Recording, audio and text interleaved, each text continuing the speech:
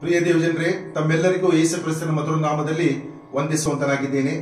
ಈ ಬೆಳಗಿನ ಜಾವದಲ್ಲಿ ದೇವರ ಪರಿಶುದ್ಧ ಸಾನ್ನಿಧ್ಯಕ್ಕೆ ಬಂದು ನಮ್ಮ ಸಭಾ ಪ್ರಾಂತ್ಯದಲ್ಲಿರ್ತಕ್ಕಂಥ ಅನೇಕ ಮಕ್ಕಳು ಹತ್ತನೆಯ ತರಗತಿಯ ಪರೀಕ್ಷೆಗೋಸ್ಕರ ತಮ್ಮನ್ನು ತಾವು ಸಿದ್ಧಪಡಿಸಿಕೊಂಡು ಹೋಗೋದಕ್ಕಿಂತ ಮುನ್ನ ಕರ್ತನ ಕರಗಳಲ್ಲಿ ಅವರನ್ನು ಒಪ್ಪಿಸಿಕೊಟ್ಟು ನಾವೆಲ್ಲರೂ ಒಟ್ಟಾಗಿ ಪ್ರಾರ್ಥಿಸೋಣ. ದೇವರ ವಾಕ್ಯದಲ್ಲಿ ನಾವು ನೋಡುವ ಪ್ರಕಾರ ಯಾಕೋಬನು ಬರೆದ ಪತ್ರಿಕೆಯಲ್ಲಿ ಮೊದಲನೇ ಅಧ್ಯಾಯ ಐದನೇ ವಚನದಲ್ಲಿ, ಯಾವನಿಗಾದರೂ ಜ್ಞಾನವು ಕಡಿಮೆಯಾಗಿದ್ದರೆ ಅವನು ದೇವರಲ್ಲಿ ಬೇಡಿಕೊಳ್ಳಲಿ, ಅವನಿಗೆ ಅದು ದೊರೆಯುವುದು. ಪ್ರಾರ್ಥಿಸೋಣ.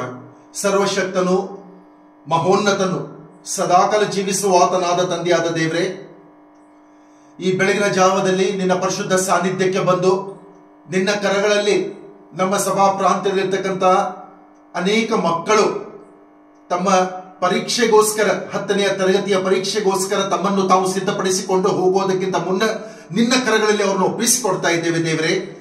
ನಿನ್ನ ಜ್ಞಾನದಿಂದಲೂ, ವಿವೇಕದಿಂದಲೂ ಅವರನ್ನು ತುಂಬಿಸುವ ಸ್ವಾಮಿ. ಇಲ್ಲಿಯವರೆಗೆ ಪ್ರಯಾಸ ಪಟ್ಟು ಕರ್ತನೆಯ ಪ್ರತಿಯೊಬ್ಬೊಬ್ಬ ಮಕ್ಕಳು ತಮ್ಮನ್ನು ತಾವು ಸಿದ್ಧಪಡಿಸಿಕೊಂಡಿರುವಾಗ ಸ್ವಾಮಿ ಅವರು ಎಕ್ಸಾಮಿನೇಷನ್ ಹಾಲ್ ಅನ್ನು ಪ್ರವೇಶ ಮಾಡುವುದಕ್ಕಿಂತ ಮೊದಲು ನಿನ್ನ ಪ್ರಸನ್ನತೆ ಅವರ ಜೊತೆಗಿದ್ದುಕೊಂಡು ಅಪ್ಪ, ನಿನ್ನ ಪ್ರಸನ್ನತೆಯ ಮುಖಾಂತರ ಎಕ್ಸಾಮಿನೇಷನ್ ಹಾಲ್ ಅನ್ನು ಪ್ರವೇಶ ಮಾಡಿ, ನಿನ್ನ ಆಶೀರ್ವಾದದಿಂದ, ನಿನ್ನ ಅಭಿಷೇಕವನ್ನು ಹೊಂದಿಕೊಂಡು, ಕರ್ತನೆ ಸಂತೋಷ ಸಂಭ್ರಮದಿಂದ ಅವರು ಎಲ್ಲಾ ಪರೀಕ್ಷೆಗೆ, ಕರ್ತನೆ ಪ್ರತಿಯೊಂದೊಂದು ಪ್ರಶ್ನೆಗಳಿಗೆ ಉತ್ತರವನ್ನು ಬರೆದು, ಸಂತೋಷದಿಂದ ಮತ್ತೆ ಅವರನ್ನು ತಮ್ಮ ಮನೆಗಳಿಗೆ ಹಿಂದಿರುಗಿಸಬೇಕೆಂಬುದಾಗಿ ನಿನ್ನಲ್ಲಿ ವಿನಂತಿಸಿಕೊಳ್ತಾ ಇದ್ದೇವೆ ದೇವರೇ.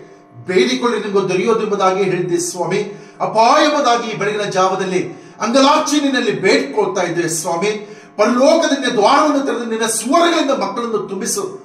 ನಿನ್ನ ಆಶೀರ್ವಾದ, ನಿನ್ನ ಪರಿಶುದ್ಧಾತ್ಮನ ಅಭಿಷೇಕ ಪ್ರತಿಯೊಬ್ಬೊಬ್ಬ ಮಕ್ಕಳ ಮೇಲೆ ನೆಲೆಗೊಳ್ಳಲಿ ದೇವಾ. ಓ ಎಸಯ್ಯ ನಿನ್ನ ನಾಮಕ್ಕೆ ಸ್ತೋತ್ರವಾಗಲಿ, ಸ್ವಾಮಿ.